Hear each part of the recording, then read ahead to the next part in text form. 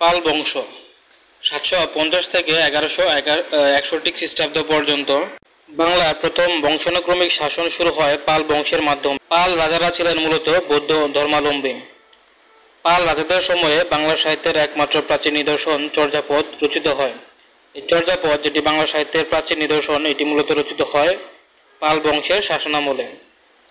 পাল রাজাদের পিতৃভূমি ছিল বরেন্দ্র অঞ্চল। পাল রাজাদের পিতৃভূমি ছিল বরেন্দ্র অঞ্চল। এই যুগে ভারতীয় উপমহাদেশে ইসলামের প্রথম আবির্ভাব হয়। বাংলার দীর্ঘস্থায়ী রাজবংশের নাম হচ্ছে পাল বংশ। বাংলার দীর্ঘস্থায়ী যে রাজবংশ, তার নাম হচ্ছে পাল বংশ। গোপাল সাতশো পঞ্চাশ থেকে সাতশো একাশি খ্রিস্টাব্দ পর্যন্ত মাৎসন্যায়ের অরাজক- অরাজকতাকে দেখে বাংলার রাজপদে গোপালের শাসন সকলেই মেনে নেয়। অর্থাৎ গোপাল পাল বংশের প্রতিষ্ঠাতা। পাল বংশের প্রতিষ্ঠাতার নাম হচ্ছে গোপাল।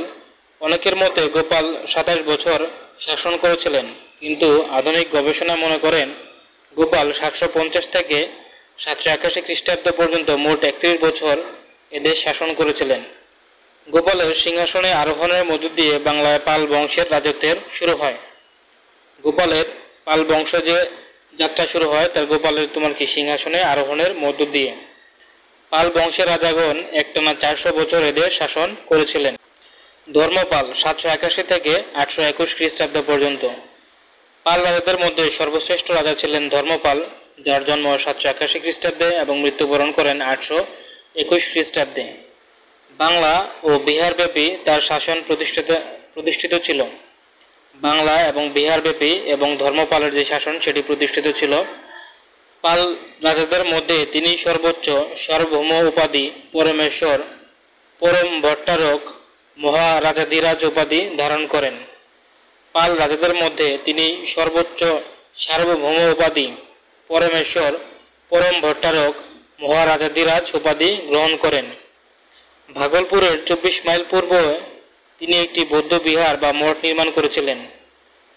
ভাগলপুরের চব্বিশ মাইল পূর্বে তিনি একটি বৌদ্ধ বিহার বা মঠ নির্মাণ করেছিলেন। বিক্রমশীল তার দ্বিতীয় নাম বা উপাধি। বিক্রমশীল ছিল ধর্মপালের দ্বিতীয় নাম বা উপাধি।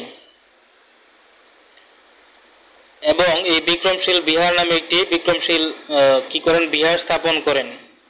নওগাঁ জেলার পাহাড়পুর নামক স্থানে ধর্মপাল বিহার প্রতিষ্ঠা করেন এবং সেই বিহারটির নাম হয় সোমপুর বিহার।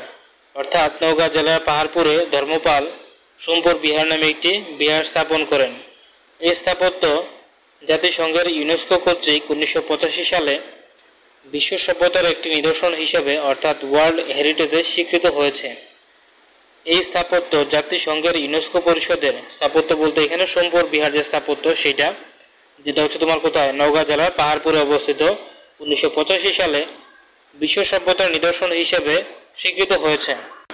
ধর্মপালের পুত্র দেবপালের পৃষ্ঠপোষকতায় নালন্দা বিশ্ববিদ্যালয়ের সমগ্র এশিয়ায় বৌদ্ধ সংস্কৃতির প্রধান প্রাণকে- প্রাণকেন্দ্র হয়ে ওঠে। ধর্মপালের পুত্র দেবপালের পৃষ্ঠপোষকতায় নালন্দা বিশ্ববিদ্যালয়ের সমগ্র এশিয়ার বৌদ্ধ সংস্কৃতির প্রধান প্রাণকেন্দ্র হয়ে উঠেছিল। জাভা, সুমাত্রা, মালয়ের শৈলেন্দ্র বংশের মহারাজ বালপুত্র দেবকে নালন্দা একটি মঠ প্রতিষ্ঠার অনুমতি দান করেছিলেন। জাভা, সুমাত্র ও মালয়ের শৈলদে, শৈলেন্দ্র বংশের মহারাজ। বালপুত্র দেবকে নালন্দা একটি মঠ প্রতিষ্ঠার অনুমতি দান করেছিলেন। এই ঘটনা থেকে দক্ষিণ পূর্ব এশিয়ায় দ্বীপপুঞ্জের সাথে বাংলার ঘনিষ্ঠ সম্পর্ক প্রমাণ পাওয়া যায়। মহিপাল, মহিপালের রাজত্বকাল ছিল প্রায় পঞ্চাশ বছর। দিনাজপুরের মহিপাল দিঘি এবং মুর্শিদাবাদের মহিপালের সাগর দিঘি নির্মাণ করেন। দিনাজপুরের মহিপালের দিঘি এবং মুর্শিদাবাদের মুর্শিদাবাদের মহিপালের সাগর দিঘি নির্মাণ করেন হচ্ছে এই মহিপাল। কৈবর্ত বিদ্রোহ উত্তরবঙ্গের বরেন্দ্র অঞ্চলের সামন্তবর্গ দ্বিতীয় মহিপালের সময়ে প্রকাশ্যে বিদ্রোহ ঘোষণা করেন। উত্তরবঙ্গের বরেন্দ্র অঞ্চলের সামন্তবর্গ দ্বিতীয় মহিপালের সময় প্রকাশ্যে বিদ্রোহ ঘোষণা করেন।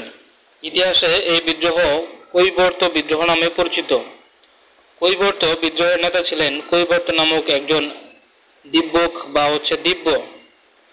কৈবর্ত বিদ্রোহের নেতা ছিলেন কৈবর্ত নায়ক নায়ক নামক হবে হ্যাঁ নামক দিব্যক বা দিব্য।